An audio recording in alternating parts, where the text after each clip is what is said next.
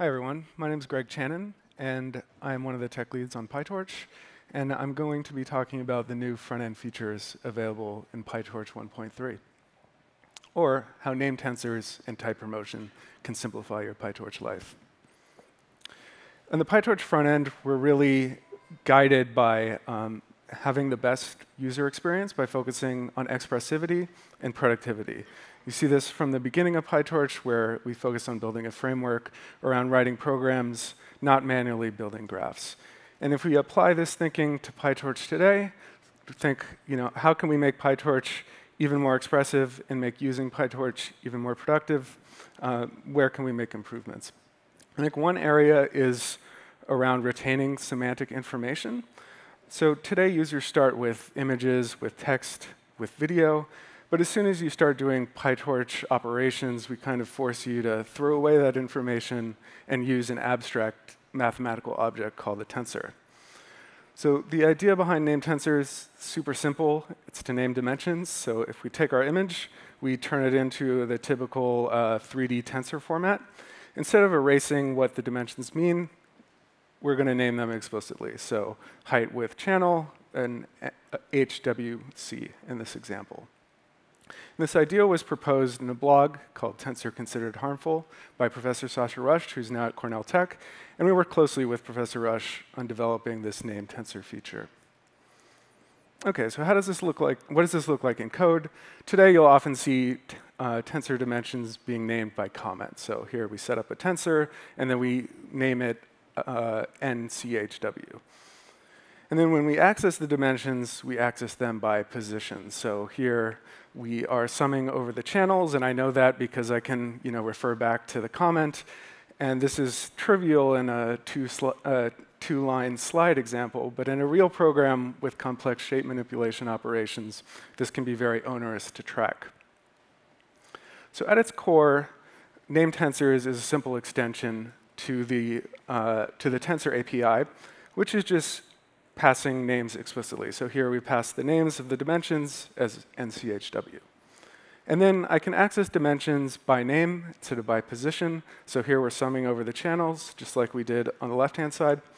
And um, this is more readable because it's closer to our intent, right? I want to sum over the channels, and I don't want to sum over the first dimension. And it's also more maintainable because if my sh shape manipulation code changes, uh, the names are automatically propagated. And so if my channels end up in a different position, this code is resilient to those changes. OK, so that's a very high-level view of the API. Let's, I'm just going to go through a quick case study on image normalization. Here's a function from Torch Vision, which is normalizing the channels over a batch of images. And if you look at the implementation in Torch Vision, you'll see something like this, which is using none indexing. And if you're familiar with none indexing, essentially it's shifting the uh, dimension positions by one. This is pretty hard to read. It's pretty unintuitive because like you can't reason from first principles what indexing a dimension by none means. Um, and it also has this other issue where there are many different formats.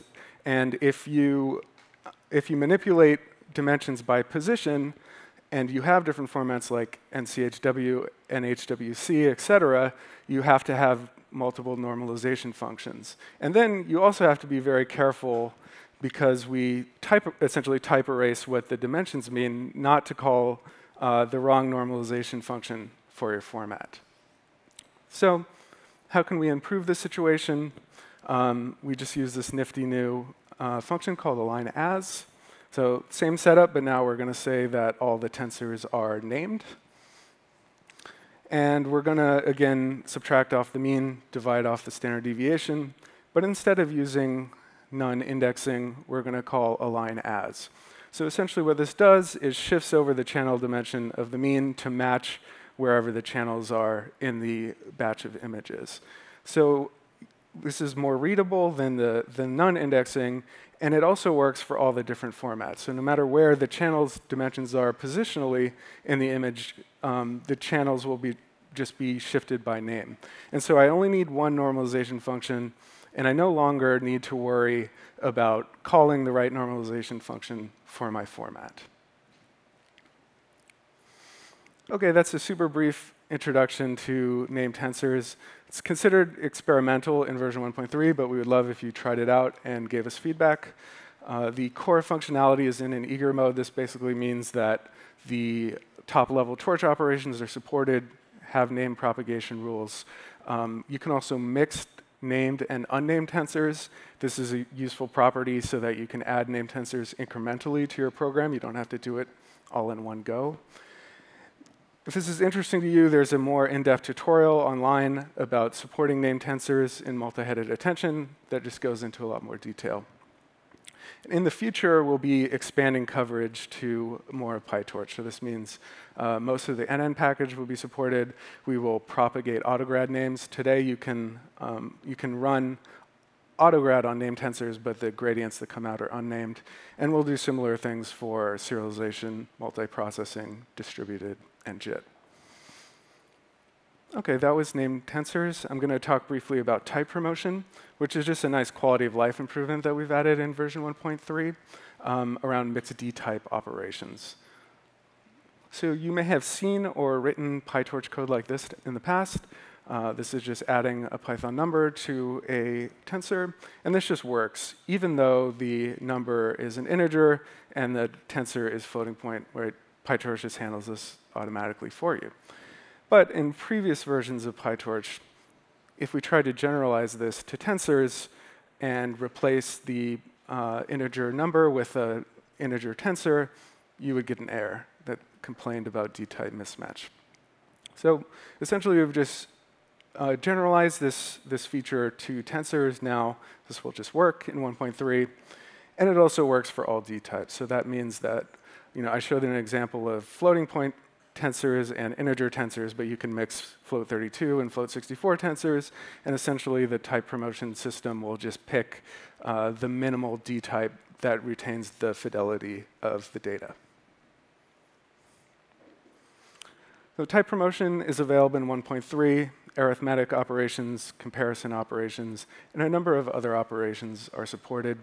There's full documentation on the website about all the rules. Um, if for you NumPy fans out there, the rules are very similar to NumPy. Uh, we just made some slight tweaks to support our use case. And in the future, we'll be expanding coverage to the long tail of operators. That was a brief intro to named tensors and type promotion. We'd love for you to try them, give us feedback, uh, so we can tailor it uh, for your use case.